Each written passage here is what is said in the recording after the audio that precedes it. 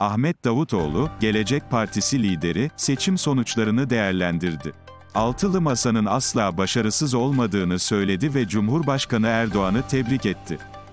Davutoğlu, Erdoğan'ın kutuplaştırıcı dilini terk etmesi gerektiğini söyledi ve ülkenin siyasi, ekonomik ve kurumsal sorunlarının çözümü için yapıcı muhalefet anlayışı zemininde çalışacaklarını belirtti.